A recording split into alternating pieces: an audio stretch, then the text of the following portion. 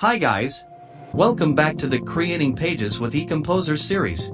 In today's video, we'll give you detailed step-by-step instructions on how to create a 404 page in Shopify using eComposer. A 404 page is a landing page that tells your site viewers the requested page is unavailable or, in some cases, doesn't exist. They reduce bounce rates, support SEO, and offer opportunities for creativity. Well-designed pages contribute to professionalism, customer retention, and error tracking, turning a potential frustration into a positive interaction. Usually Shopify theme provides only one page in your store. eComposer makes it easy to design appealing 404 pages, enhancing your customer's experience on your website. eComposer default 404 page will overwrite your current one in your theme and the changes you made will apply to your store. Before we start, don't forget to hit the thumbs up and subscribe button for our channel. If you don't have a Shopify account, feel free to click on the link we attached in the description below. The newest Shopify exclusive deal is waiting for you. Okay, let's go into part 1, how to build and apply a new 404 page to your Shopify store. Go to the Shopify dashboard, select App, and open eComposer Landing Page Builder. In case you haven't installed the app, you can find the link to eComposer on Shopify App Store in this video description. From the eComposer dashboard, go to Templates and select 404 and click Build 404 page. At Quick Start, select Blank Template. Give it a name and click Start Building.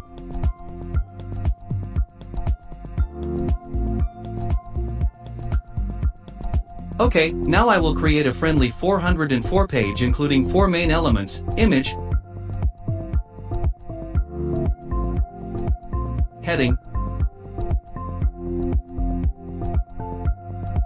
text, and buttons. I'll edit them a bit to make them look better.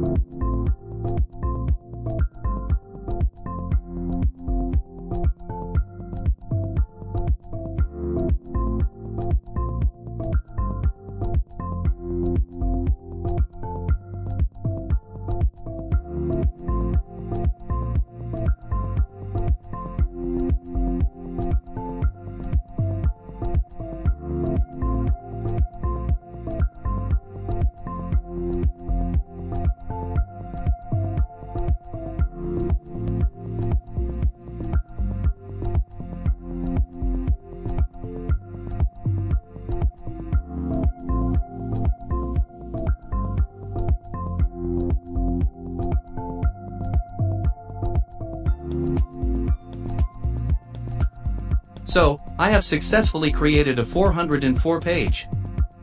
Now you need to click the Publish button to make the page live. In the pop-up that appears, select Overwrite Shopify Default 404 page. This helps your 404 page to be triggered in cases.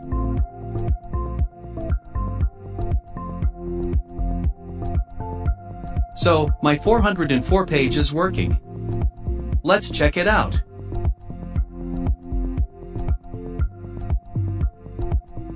Next, I will show you how to restore to the original Shopify 404 page. First, go to the eComposer app dashboard, select Template and click 404. Here, locate the Shopify 404 pages and hit on the icon Restore. And so, I restored the 404 page to Shopify default. That is the end of today's Create Pages with eComposer episode. Remember to subscribe and turn on the notification to get the newest videos from our channel. Feel free to leave a comment or join the eComposer community to get quick support and the latest updates. Thank you for watching. See you next time.